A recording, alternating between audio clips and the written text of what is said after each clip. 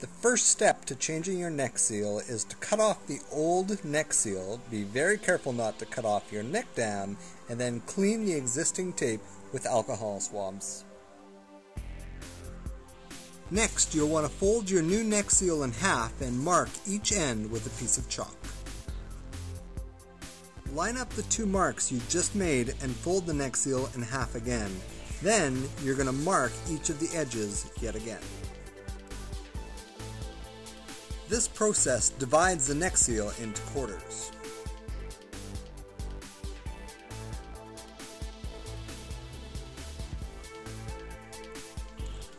The markers will be used shortly to properly align the neck seal onto your dry suit.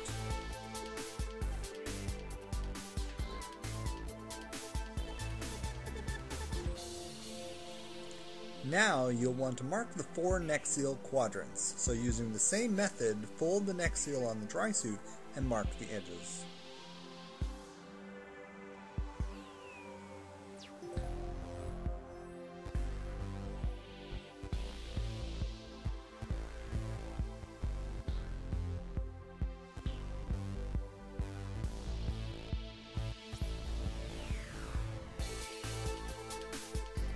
Using acetone, carefully clean the adhesive on your neck seal.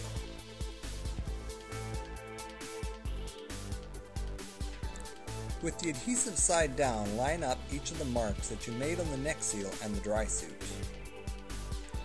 Add heat to one of the quadrant marks using a roller to improve adhesion covering an inch to two full inches. You'll repeat this process on each of your four marks.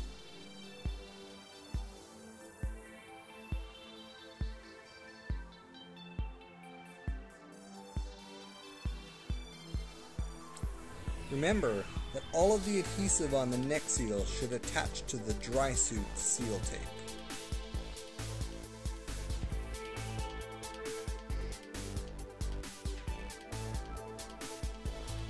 Once all four marks have been adhered, use your heater and your roller to attach the area between the marks.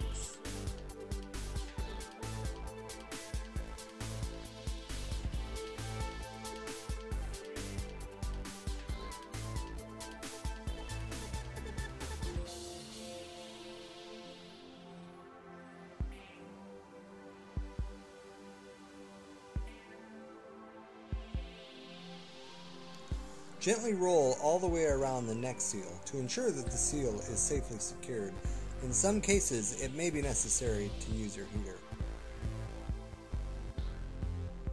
Use your heater and your roller to ensure that just above and just below the neck seal seam, the seal is securely attached. Inspect the outside of the seal. If there are any gaps or holes, be sure to add heat and re-roll.